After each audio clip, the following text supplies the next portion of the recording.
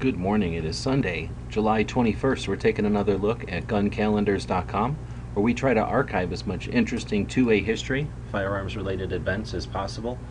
And today we have a, I think, an interesting, it's not really gun related, I guess, but an interesting uh, anniversary. Uh, this one is, uh, it's kind of multi-folded.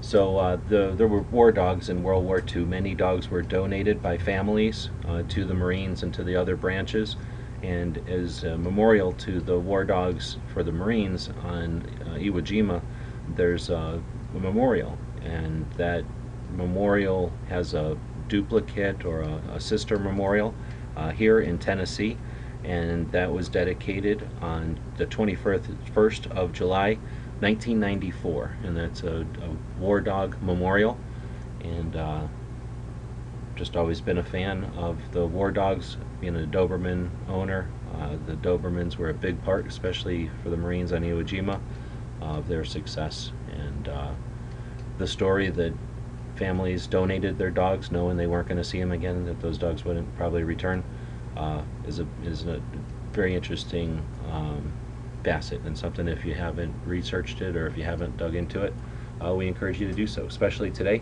the day that the uh, War Dog Memorial was dedicated in 1994. A little extra history. Today, uh, in 1873, Jesse James and his gang robbed their first train. Notice they had to do that in 1873 because they weren't going to be able to do that when there was Dobermans around.